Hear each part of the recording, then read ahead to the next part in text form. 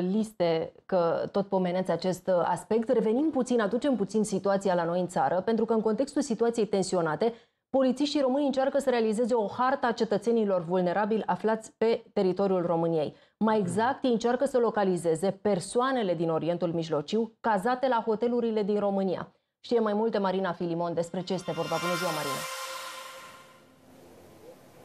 Bună ziua, Andreea! Țin să reamintesc faptul că Franța este una dintre numeroasele țări europene, alături de Marea Britanie și Germania, în care atacurile teroriste sunt tot mai dese. În acest context au fost intensificate măsurile de siguranță în ceea ce privește atacul islamilor asupra comunităților evreiești din zonă. De aici inițiativa de la noi a polițiștilor de a intensifica controlele și siguranța în țară, în mod special în București, în zonele de lux, în zonele în care sunt tot mai populare populate de islamici, în tocmai pentru a preveni situațiile care se întâmplă în ultima vreme în Europa. Amintim că în Franța și în uh, Marea Britanie au avut loc peste 40 de atentate teroriste. Atentatele teroriste nu se știe exact de unde pot izbucni, tocmai de aici și inițiativa polițiștilor.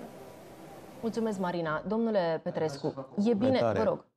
Distinția noastră colegă a menționat, a menționat Franța și are dreptate, pentru că în Franța s-a anunțat astăzi că din ordinul președintelui Macron, 7000 de militari, militari, nu polițiști, vor fi scoși în stradă să întărească operațiunea Santinela. Ce înseamnă asta? Operațiunea Santinela era până acum executată de militari din legiunea străină și din alte unități de elită armate franceze care să asigure securitatea edificiilor administrației președintelui Macron și la nivelul Uh, orașelor uh, capitale de uh, provincii. De altfel, și Ministerul de Externe din România a emis ieri o avertizare de călătorie pentru Franța în contextul creșterii nivelului de alertă. Devine și Europa, marile orașe europene, mai puțin sigure, mai ales Franța, ținând cont de specificul În ce privința Franței, după anunțul acesta, eu sunt sigur că se întărește securitatea în Franța. Deci scade riscul producerii unui atac terorist?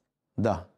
În același timp, trebuie să ne uităm la Germania, care are un număr impresionant de cetățeni acum germani, dar și de origine islamică, care și ei trebuie controlați, trebuie monitorizați pentru a preveni acte regretabile, cum s-a întâmplat la acea școală franceză, unde știm că un cecen de origine rusă eh, a omorât un distins profesor și a rănit și alte persoane, pentru, acest, pentru că aceste acte ale unor scelerați trebuie prevenite și ele pot fi prin cunoașterea background-ului, de unde vine, ce aptitudine a avut, cine l-a antrenat, ce anume declarație a făcut în sensul dacă este un isteric care se afirmă în favoarea eliminării vieții adversarilor săi. Da, deci Germania, Germania urmează să, să ia măsuri în da, acest sens. Ca să încheiem cu situația la noi se va face această hartă a cetățenilor vulnerabili aflați pe teritoriul țării noastre, mai exact persoane din Orientul Mijlociu.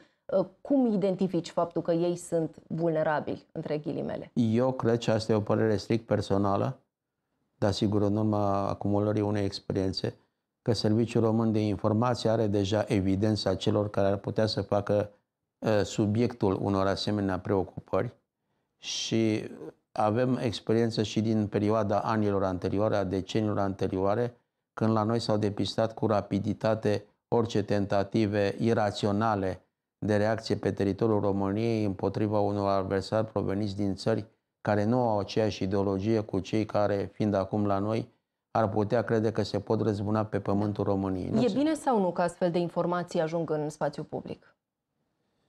Până la urmă ați făcut un serviciu public, în sensul că ați atenționat pe cetățenii lucizi ai României că asemenea conduită nu scapă neatenției autorităților și că sunt mijloace specifice care nu fac obiectul acestei emisiuni, prin care ei pot fi monitorizați de la ceea ce discută, la ceea ce afirmă, pe unde umblă, ce cumpărături fac și chestiunile acestea țin de întărirea democrației nici de cum de subminarea ei. Foarte bine că se, există o asemenea acțiune preventivă.